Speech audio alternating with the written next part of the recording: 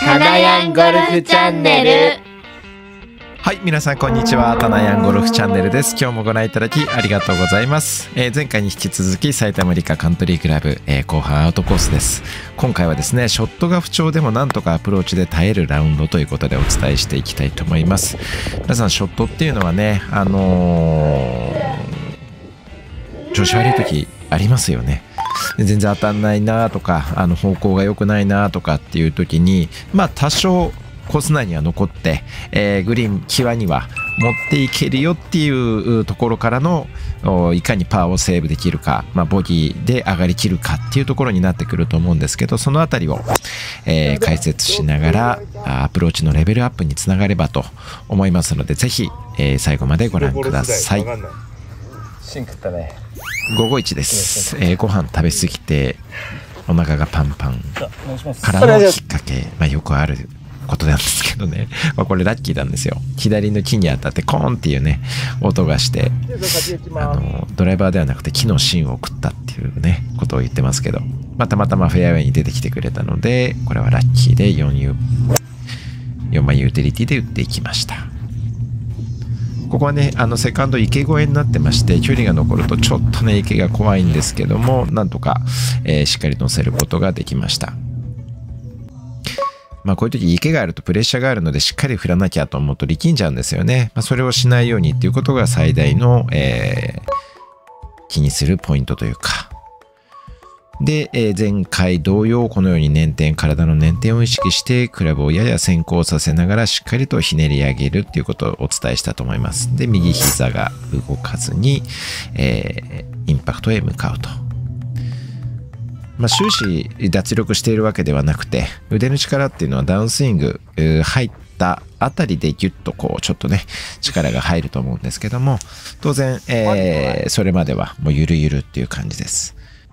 うんでこれが、えーバーディートライになりますねちょっと長い距離なんですけども少し下ってますで下り入って最後にちょっとスライスするかなっていう感じなんですけども伸びて伸びて伸びて伸びて。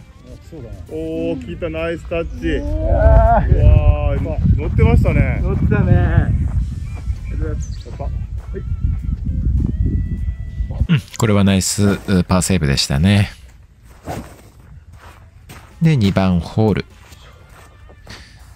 まあ、ロングパットはですね、やっぱりこう距離感が大事なんですよね。こう傾斜とかもちろんありますけど、あの下り上り、はい、読んだ後左右の曲がりっていうのはね、まあ、うん、まあ読んだら、あの、打つときはもう気にしない方がいいです。ボールの線をねセットして、えーその方向に構えたらあとはもう距離感重視で打つだけなのであの打つ時までねこう左右の曲がりを気にしない方がいいですね。そうすると手首をこねたりフェース面を無意識のうちに変な風に変えたりとかっていうことがよくあるので距離感に集中すること。これがね非常に重要かなと思います。で今回同伴者の、えー、早苗ちゃん。今回ね哲也と慎さんと回ってるんですけど早苗ちゃん今回レギュラーなんですよね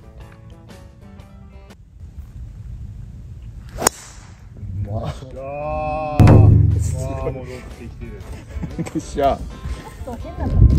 変なとこ当たった。私も多分ここら辺に当たってるあ、ヒールよりね。うんはい、もう男性陣タジタジっていう感じでね、えーまあ、本人ヒール色に当たったとちょっとあの満足いかないような様子でしたけど求めるものがかなりね、えー非常に高いんですけどもあのゆったりと大きな弧を描いて、えー全身の筋肉を使って遠心力をフル活用して振ってるっていうようなスイングですね。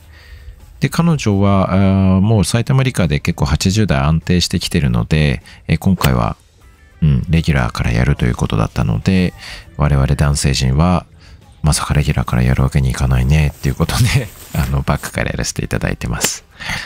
うん。っぱり男性っていうのは腕力が強いのでちょっとねこう遠心力を活用して大きい筋肉を使うのがね苦手だったりします。特にあのレッスンを受けないできた独学でやってきた方っていうのはねかなりあの強く腕を使うので、まあ、それに慣れすぎちゃってると脱力って何っていうね感じになっちゃうと思うんですけど全身の力を抜くことじゃないんですよ。どちらかというと上半身ですね。下半身は結構力んでいただいて構わないんですけどもね。はい。で先ほどの、えーつま先下がりからセカンドを私打ちましたけどもあのーセカンド、つま先下がりだと、まあ右に飛んでいくのが怖くてね、えー角にこうフェースを返していっちゃうっていう人が結構多いので、あの、それだけ注意して打ちました。うん、9番アイアン、残り130ちょっとだったかな。うん、グリーン脇のところです。もうこのぐらいですね、グリーンに乗ってなかったら、もうウェッジ使わずにパターンの方が絶対いいですよね。パターを使うパターンっていう、パターだけに使うパターン、まあどうでもいいですけど、えっと、逆目の芝で、えーエッジまでそんなに遠くないよっていう時、1ヤード未満、うん、カラーとか、まあ、うんまあ、フェアウェイにしても、1ヤード未満だったらパターの選択肢というのがかなり増えてきます。あと今言ったように芝が逆目だとですね、ウェッジが引っかかりやすいので、ちょっとパターで打つというパターン、パターンもありますね。はい。これはなんとかパーセーブすることができました。でま前にもお伝えしましたけど、やっぱライの見極めということですね。芝がどうなってるか、ボールがどのくらい浮いてるか、それからエッジまでの距離がどのくらいか、エッジからカップまでどのくらいの位置に、切られているのか、そのあたりをね、総合的に判断してクラブ選択をするということですね。で、3番ホール。これはやや左ドッグで、右サイド行くとですね、だいぶ距離が余るのですが、まあ、思い切ってドローを打ってコースなりに打ってみましたけども、若干左のラフですね。で、このセカンド、うん、まだまだ距離が残ってるんですが、170ヤードユーティリティでちょっとこの林の上あたりを思いっきり狙ってます。うん、今ガサって聞こえましたね。前に抜けることなく、えー林の中へ落ちてしまって OB でした。はい。はい。あ今ね、今日はあのプライベートラウンドなので、ポケットからボールをポトンと落として打ちますけども、まあ、競技とか正式な場所ではしっかり、えー打ったである場所の近辺に、えーピンに近づかないように膝からドロップするというのが正しい方法なので皆様お気をつけください。で、こちらが5段目になりますアプローチですね。このように砲台グリーンになってます。で、砲台から7、8ヤード入ってたと思うんですけども、まあ、56度で、えー打っていきます。うん。このアプローチで気をつけたいのは、はい、すくい上げるような動きを入れないことですね。まあ、この傾斜があるとですね、どうしてもちょっとボール浮かせたくなっちゃうんですよね。で、速いグリーンだと、えー、なんか上からポトンと落としたいっていう贅沢な悩みをね、あのーことをしたくなるので、これはね、普通に低い、ヘッドを低い位置に使って、結構スイープに入れていくというか、シャローに入れていくようなイメージですね。あんまり入射角きつくしない。そうするともうベッジのロフトがこれ56度なので、えーしっかりとボールは上がってくれると。このヘッドを低い位置に動かす、えー打ち方っていうのが私のほとんどのパターンです。はい、若干フェースは開いてます。開いてるんですけど、当たる瞬間っていうのはスクエアに戻しながら左に振り抜くっていう打ち方ですね。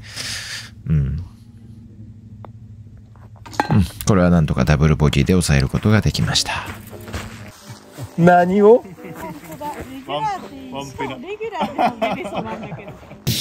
レギュラーでも出ちゃってるのはやばいな。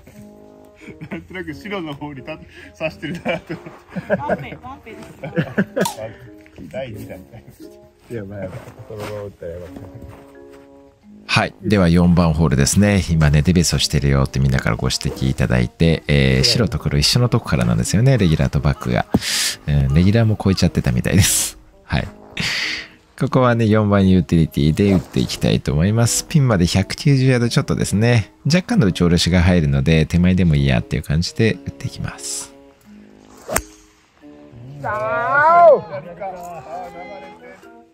跳ねて残りそうおお、来た来た来た来た来た来た。ああ狙った通り。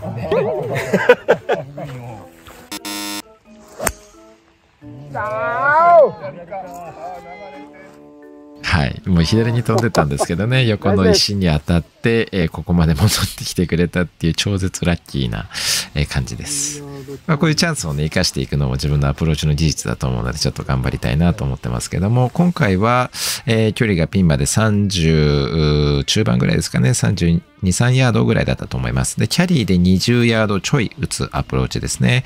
先ほどの56度で、56度で打ったアプローチと同じように、ヘッドをあんまり急加速させずに、入射角をきつくさせるわけでもなく、横から、まあ、パンスを滑らせるようなイメージで打っています。これもフェースちょっと開いてますね。打ち方全く一緒です、先ほどと。胸と腕を一緒にこう三角形をイメージしながら、後ろに低く引いていきいきます。で、あんまり手首をね、積極的に使うようなことはなく、ただ、えー若干ね、ハンドファストに当てたいかなっていう気持ちがあったので、手首は少し柔らかいかなと思いますね、この場合。切り返しからヘッドをトップの位置に残すような形で、えーダウンスイングに入っているという部分ですね。まあ、大きく打ち方を変えることなく、このようにクラブを変えることによって、えー非常にミスの少ないアプローチになっていきます。打ち方をいろいろ変える器用なあー人はね、いいと思いますけど、変えられる人はね。侍みたいな。うん。これ難しくなっちゃうので、ぜひこのようなアプローチを、まあ、この、このホールでも、ちょっとランニングアプローチ今度やりますけども、うん。クラブを変えるだけで、えー出玉を変え、あのコントロールしながら、スピン量もイメージできる。そして、いろんなラインに対応できるというところですね。あー、さあ、ダウン、ダウン。うん、なんか引っかかってますね。前のホールも左に 行ってしまって、えー今回もですね、これね、石畳に当たって、反対側、クリークの左側まで、えー跳ねてくれたっていうところで助かってますけどね、こういうラッキーが続くと、ちょっとね、嬉しいですね。うん。で、幸い打つことができるので、こちらから52度で、まあ残り68ヤードっていう風になってますね。ただ、大振りちょっと石もね、あるのであんまりできないかなっていうところで、打ちましたけどもうん。ちょっと手前でしたね。で、はい。こういう状況です。はい。エッジまで、えー3、4ヤードで、えー落としどころを見て、カップまで上りがかなり入ってます。グリーンが速いとはいええーかなり転がしていきたいかなっていうところなので、私はここで9番アイアンを選択してます。で、同じ振り方。はい、完璧ですね。はい。うん。で、この打ち方も先ほどのお打ち方と一緒なんですけど、やっぱり振り幅はちょっと狭くなりますけども、低く引いていきながら、この9番アイアン使うときもフェースは開いています。で、えーバウンスから滑らせていくイメージで三角形を崩さないと。こういうランニングアプローチの時は先ほどと違って、えー手首はね、ちょっとロックしてます。柔らかく使ってしまうとハンドファーストに当たりすぎて思ったよりも強い球が出てしまうので、えーまあパターンのような感触で打ってます。で、これね、さっきの、えーここまでのアプローチ3つを見比べて、え見てるんですけども、打ち方変わんないの分かりますかね？アドレスして素振りして打つまでの時間もほぼ変わらない。えー構えもほぼ変わらない。うん。前傾姿勢も変わらないですね。で、クラブの持つところは、あほとんどシャフトにね、手がかかるような形で持ってます。それぞれ距離も、もちろん、あの、状況も、エッジまでの距離も違うんですけども、打ち方の、はい、違いがあんまりないよっていうところ分かっていただければと思います。52度の35ヤードっていうのはね、ちょっとやっぱ振り幅が強いので、ハンドファーストも強めに入れるっていうことで、柔らかく使ってますけど、その他2つはね、手首を結構ロックしながら、はい、このようにちょっと斜め右後ろから取ってますけども、グリップエンドがお腹で隠れるような感じ。ここまでしっかり体を回転して、えークラブをあのしっかりと左に振り抜いていくっていうことができると、えーフェース面開いていたとしても、しっかりと、えーフェースがスクエアに当たって構えた方向というか、はい、まっすぐ飛んでくれるので、安心していただければと思います。で、さなえちゃんはこのホール2オンして、えーバーディートライちょっとオーバーしたんですけども、パーパット。やり。ナイス。ナイスパー。落ち着いてますね。下りのね、嫌なラインだったんですけど、ちょっとピンの影がね、ガイドラインになってまっすぐ打ちますって言いながら打ってますけど、で、私はここからランニングアプローチえーの後のパーパットになります。こういうね、上りになるんですけどね、はい、こっち側に残すことができると、非常に楽に、うんパッティングできるなっていうところですね。上に当てて。はい。で、6番ホールになります。383ヤード。若干打ち上げていくのですが、右ドッグなので左サイドをね、思いっきり振っていきたいなというところですけど、とんでもないスイングしてますね、これね。体が、あのインパクトで浮きまくって手元も浮いて、えーフェースが返ってこず右にすっぽ抜けたってやつですね。で木に当たってですね、えーここのねもう一段階木があるんですけど この木の間を通して打つと。怖っ。結構これ見た目以上に狭くてですねめちゃくちゃ怖かったんですけど木に当たって帰ってきてねまた顔面にでも当たって怪我でもしたらどうしようっていうね恐怖心との戦いでしたけどあの周りのみんなから期待してるよって言われてね。何の期待だよみたいな。でこれが3打目、えーですね。まっすぐピン方向行ったんですが若干ショートをしてしまってこちらからあーパーパットになります。上り。ですね。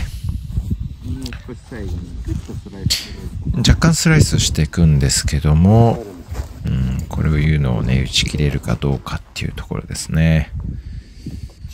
うんパッティングのグリップなんですけど、前回の動画でね、ちょっとご質問ありましたけども、スプリットハンドっぽく握ってますか？ということでね、あのーおっしゃられてたんですが、ね、特にスプリットハンドではないんですけども、逆オーバーラッピングですね。で、握ってます。特にショートゲームは、ショートパッドほとんどそうです。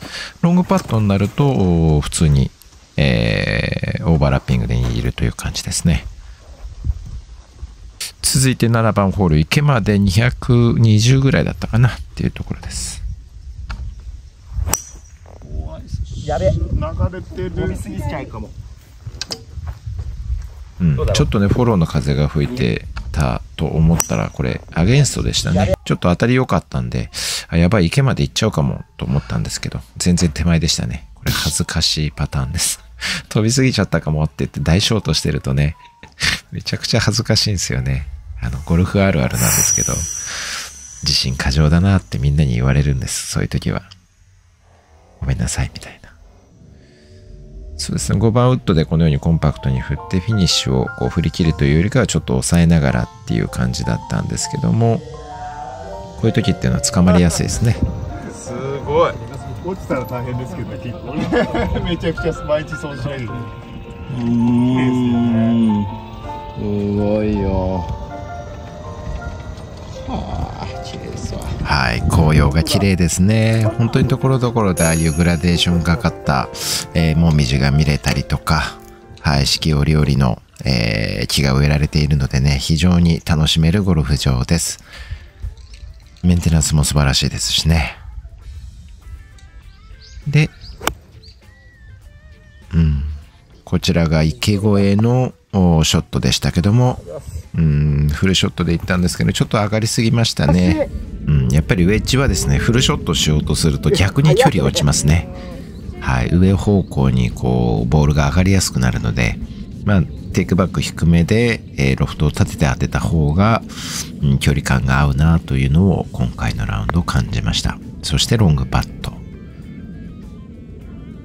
このぐらいのロングパットになるとちょっとグリップがですね、えー普通のグリップになります。普通のオーバーラッピングで打ってますね。なんかその方が右手の感覚が出やすいのでだいたい5歩からうーんまあ67歩ぐらいまでは逆オーバーラッピングで握ってるっていうようなね感じです。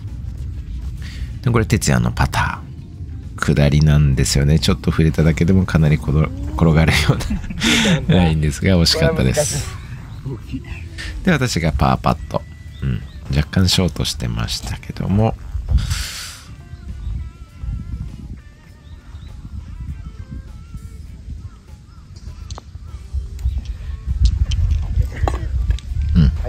ちょっと危なかったですね。切れそうな感じでしたけどもさあそして8番ホール、えーパー5ですね。ちょっと打ち上げていくので、まあ、488ヤードなんですけども、まあ、それ以上に若干距離を感じるホールにはなりますが、えー右ドッグ怪我する前はバックティーからですね、2オンとか、えーえーセカンドがでもユーティリティとかで打てるぐらい飛距離出てたんですけど、まあね、若干飛距離が落ちてきてる。ので、うん思い切って振っていきましたが、うんトップしてましたね。そして審査。わあ完璧ナイスショー今分かっちゃったな分かっちゃったっすねナイスはい、分かっちゃったかなーっていうね。いいですよね。ほんと小気味のいいスイングで、もうパワーフェードっていう感じですね。まっすぐ飛びながら、非常に熱い当たりで、飛距離もしっかり出てましたね。シンさん僕より年上なんですけどね、体も僕と同じぐらいですかね。でもね、非常にパワーのあるスイングだと思います。まあね、非常によくまあ、最後のドライバーなんでね、分かっちゃったのは遅すぎるよっていうね。ゴルフあるあるですよね。17番、18番ぐらいでも、最後分かるっていう。そしてセカンド私はドライバーで行きます。ね、僕の動画では直ドラ打ってる映像って多分ないと思います。野球ですまあ、哲也に、あの、いけるでしょうって言われてね。まあ、コースがちょっと右に逸れていく、右ドッグになってるので、まあ、ドライ、直ドライやるとスライスが打ちやすいのでね。ただこれは結構捕まってくれましたけども、まあ、3番ウッドと同じような感じ、ウッド持つ時と同じ注意事項かなっていう感じです。球を左に置きすぎないように、えースタンス幅そんな広くしない。で、ボールとの距離をしっかり取るっていうことと、ハンドレートに構えると。うん。さあ哲也さん。パー5の3打目ですね。残りやん何ヤードですか？75 175今み4番。4番ちょっと上げてみようかな。左肘にテーピングをぐるぐる巻きにしてますんでね。非常にダメージを負ってる腕をかばいながらのショットになりますけどね。どうでしょうか。バカバンカー。ナイスイン。ちょっと。やっぱり肘がですかね。かばってますねはい。肘が痛くてね、ちょっとシャンクしてしまって、今度はこっち、これ前半の映像なんですけど、バンカーギリギリの縁に止まって、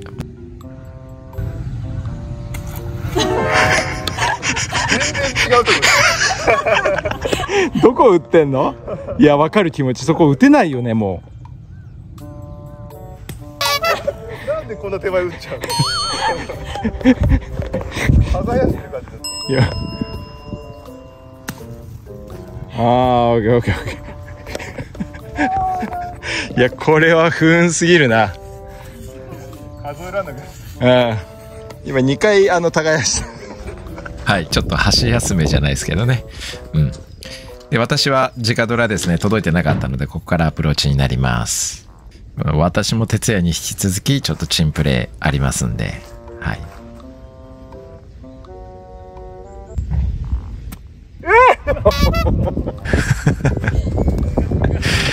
やっております。今なんか向こうからさボコって音聞こえなかった。切り返しをしてはい、なんかよくわかんないこと言ってますけど、ちょうどこのグリーン脇にある林の木をですね、えー切っていて、チェーンソーのエンジン、エンジンをね、スタートする音が聞こえたんですよね、打つ瞬間。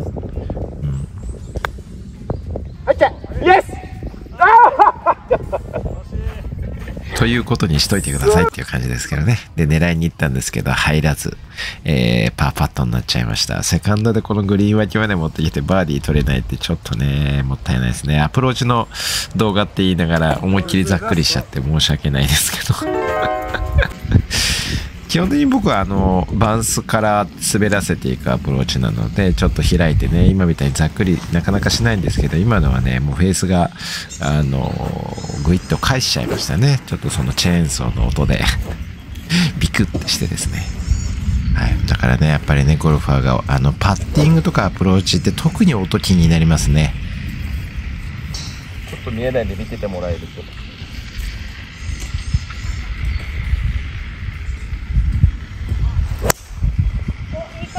だ。ちょっと右サイド。